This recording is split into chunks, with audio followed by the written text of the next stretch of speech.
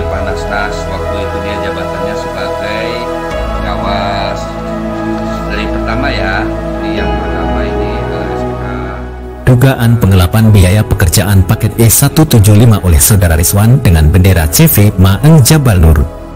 Tidak adanya solusi yang bisa diambil setelah beberapa waktu lalu saat mendatangi pihak Dinas Perkim Kabupaten Sukabumi dengan maksud mencari solusi dari dugaan penggelapan 2 SPK oleh Rizwan. Kepada awak media hari ini Rabu tanggal 25 Oktober 2023 Dede Pelaksana lapangan mengungkapkan yang terjadi beberapa minggu yang lalu saat dirinya mencari keadilan ke Dinas Perkim Kabupaten Sukabumi Dede yang merupakan seorang pelaksana lapangan bersama-sama Pak Nasnas pensiunan pengawas telah mendatangi Dinas Perkim Kabupaten Sukabumi selaku penanggung jawab SKPD.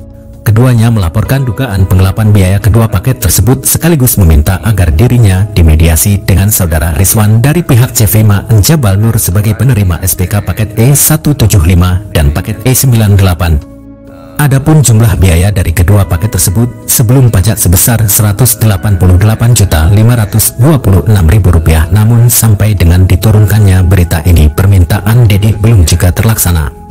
Kepada awak media, Dede menyampaikan keprihatinannya atas kerugian material dan imaterial. Saya mengalami kerugian material dan imaterial akibat ulah saudara Rizwan diduga menggelapkan biaya pelaksanaan paket E178 dan paket E98. Sementara saya ditagih oleh toko material dan oleh para pekerja yang telah mengerjakan kedua paket pekerjaan tersebut. Bahkan saya sampai dicaci maki dan dianggap penipu karena terlambat membayar upah para pekerja. Akibatnya nama saya menjadi buruk di mata masyarakat dan para pemilik toko material.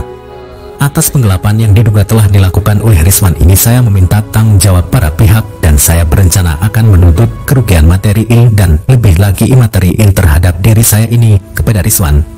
Dan juga saya ingin Rizwan dapat memulihkan nama baik saya dan keluarga.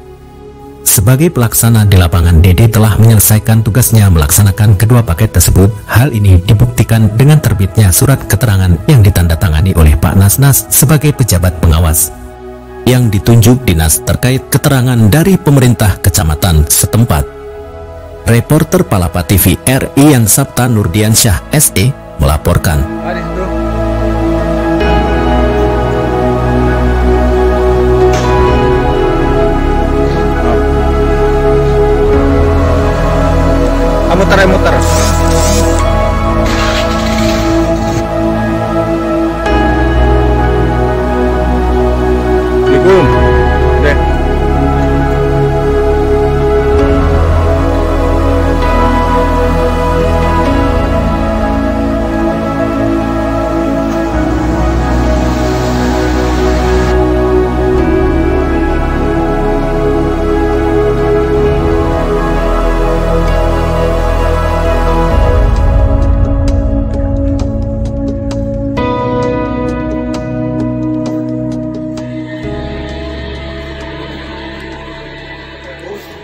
Walaupun jauh eh, kami datang langsung ke rumah Pak Dede ya Pak.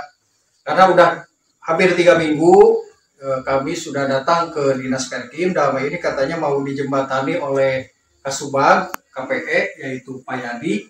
Tetapi hasilnya mungkin nihil sampai hari ini komunikasi pun tidak terjadi dengan saudara Rizwan. Nah saudara Rizwan tersebut jelas di sini bertanda tangan. Mereka itu sendiri adalah ya dalam hal ini yang ditunjuk oleh Perkim dengan bendera CP Maan Jabanur. Maan Jabanur ini sudah mencairkan dua SPK. Secara jelas itu sudah cair. Karena jelas diakui oleh dinas tersebut. Tetapi penggelapan diduga dilakukan oleh saudara Rizwan. Sehingga tidak dibayarkan sepenuhnya kepada Pak Dede yang dalam hal ini diakui oleh pengawas Panasnas sendiri yang menandatangani bahwa pekerjaan tersebut sudah sesuai dengan standar yang disyaratkan mungkin dalam pekerjaan tersebut untuk mencairkan dan akhirnya cair. Tetapi sampai hari ini sudah hampir satu tahun ya Pak? Satu tahun. Satu tahun karena itu kejadiannya tahun 2022 bulan November. Sekarang lagi bulan November tetapi sampai hari ini tidak ada itikat baik dari saudara Rizwan dalam hal ini dia memakai CP Maan Jabal Nur. Nah ini tolong kepada dinas terkait segera untuk memanggil karena ini bisa mencemarkan ya katakan nama pemborong, pemborong yang lain yang bagus.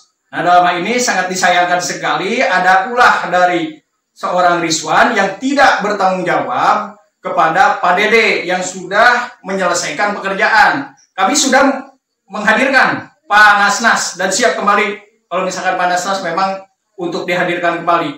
Kenapa Nasnas sudah hadir?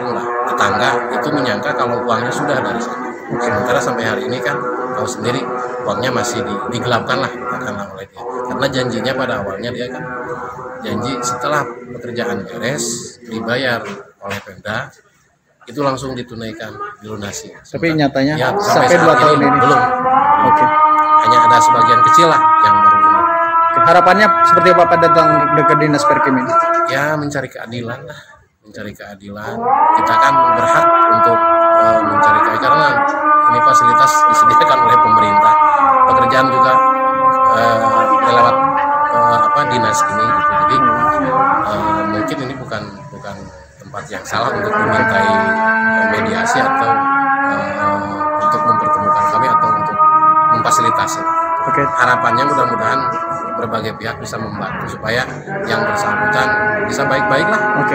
Saya juga Termasuk ingin eh, tadi Pak Nasnas sendiri hadir Pak ya? hadir Apa yang disampaikan Pak Nasnas? panas-panas karena Waktu itu kan sebagai pengawas ya? Iya, sebagai pengawas. Beliau Sudah pensiun. eh, sudah melaksanakan pekerjaan sesuai dengan pekerjaannya lah. Dan dia datang dengan kooperatif untuk untuk memberikan keterangan lah.